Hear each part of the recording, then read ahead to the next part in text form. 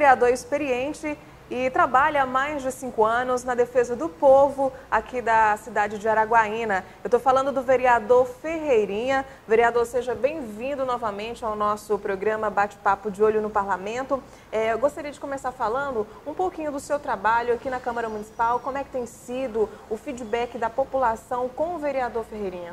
Obrigado, Leide. É, na verdade, a gente que está aqui né, nesse parlamento já há mais de cinco anos, e tentando resgatar é, a confiança da população de Araguaína que nos colocou aqui para representá-lo. Nós temos apresentado, na verdade, diversos requerimentos, projetos e indicações, no sentido de que a população seja beneficiada é, em todos os setores.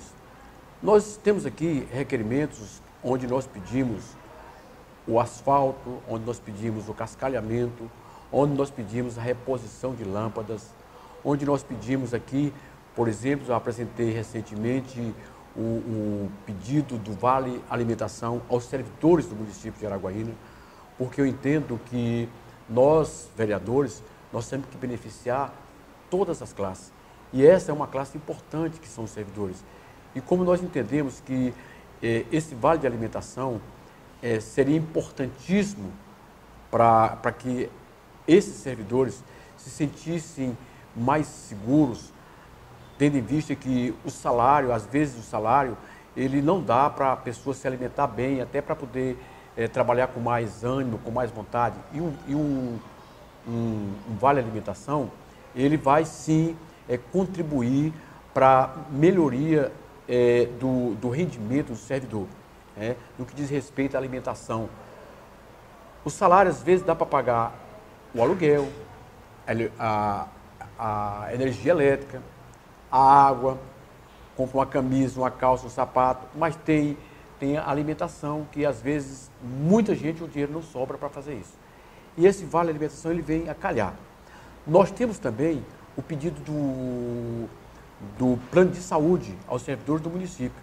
Também é importantíssimo esse, esse plano de saúde, porque quando se fala de saúde, é, a gente tem que tratar com muito carinho, porque, na verdade, o plano de saúde, ele vai, ele vai dar mais segurança também aos servidores, né? É, na questão da, de, das doenças, da prevenção, né? porque quando você é novo, você vai usar o seu plano de saúde apenas com exames de rotina, mas quando você chega na velhice, aí a coisa aperta um pouco mais.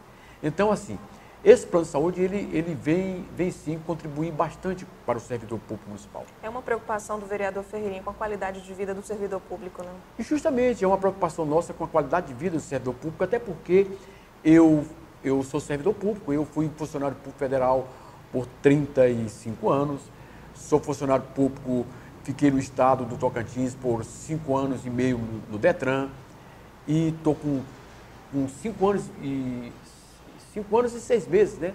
Aqui como vereador, representando o povo. Então a gente sabe o tanto que é importante é, para o servidor esses benefícios. Agora, vereador, falando um pouquinho entre população, parlamento e vereadores, como é que você tem visto aí a, a aceitação do público em poder vir aqui e estar participando efetivamente junto com os vereadores em relação aos projetos e requerimentos apresentados aqui na casa? Leide, você sabe, aqui nós somos 17 vereadores. Né? Cada vereador, é, ele tem o seu trabalho, ele apresenta suas proposituras, né, de acordo com aquilo que ele é cobrado. Eu, por exemplo, eu fiz agora o Vale Alimentação a pedido dos servidores do município. Eu fiz o, o plano de saúde a pedido dos servidores do município. Mas, porém, é, quando os vereadores fazem o seu trabalho, eu acho que nós temos a obrigação de divulgá-los, né, de mostrar para a sociedade o que, que nós estamos fazendo. Muita gente não entende isso. Acha que o vereador Ferreirinha só faz aquilo, porque no momento eu estou apresentando aquele, aquele pedido, aquele requerimento. Ah, o vereador, ao invés de fazer outras coisas, vem fazer requerimento pedindo benefício para o servidor. O servidor, ele é a população, ele faz parte da população, faz parte do povo. Então, é, eu acho que o servidor merece. Mas assim, a população, ela tem todo, ali, toda a liberdade de participar da nossa, do nosso trabalho. Os nossos gabinetes estão abertos. A Câmara Municipal está aberta à população. A população pode vir a qualquer hora se inscrever, participar da tribuna livre, pode vir nos gabinetes, são vários os vereadores, vem no gabinete dos vereadores, dê sugestão, sugestões. Ao invés de você perder o seu tempo tentando denegrir a imagem dos parlamentares, do prefeito, do governador, venha no parlamento, venha aqui, venha discutir com a gente projetos, apresente um projeto. Nós teremos o maior prazer de apresentá-los é, nessa casa para o executivo. Né? Agora, tentar denegrir a imagem das Você pessoas é ruim. Você se refere em relação às críticas recebidas em relação ao requerimento do plano de saúde para os servidores, né? Que muitas pessoas criticaram a Vossa Excelência na, nas suas redes sociais. Muita gente criticou, mas a maior parte, 90%, elogiou.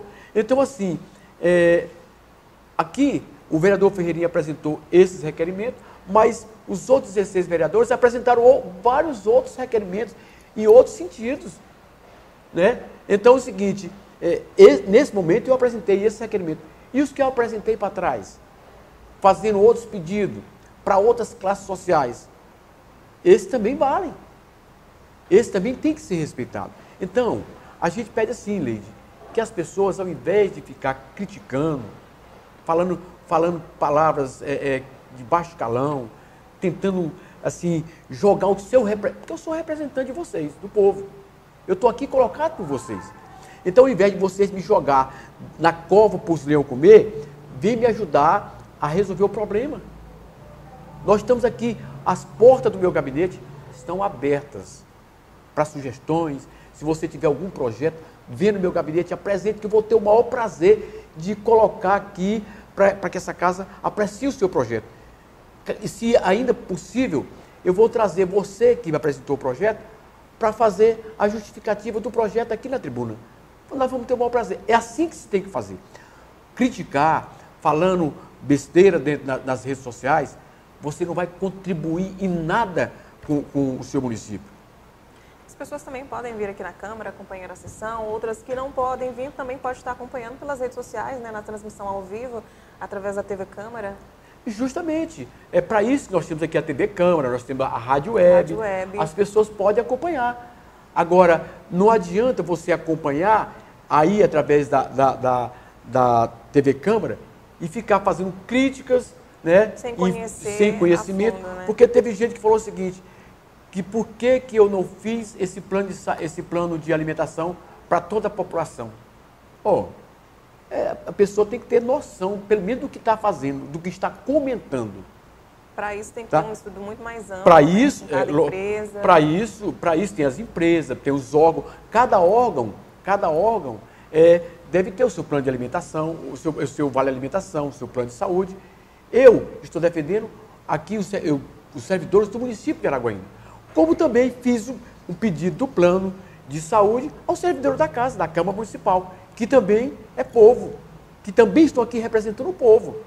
Né? Vereador, é, muito obrigada pela sua entrevista, pelo nosso bate-papo e esse momento a gente deixa é, livre para que o senhor possa falar diretamente com o seu eleitor, fazer suas considerações finais, queira colocar algo que, que ficou por dizer, por perguntar, então esse espaço a gente deixa livre para o senhor falar com o seu eleitor. Ora, Leide, eu agradeço aqui mais essa oportunidade e mais uma vez é, pedir a, ao cidadão araguainense é, que participe um pouco mais aqui nesse parlamento.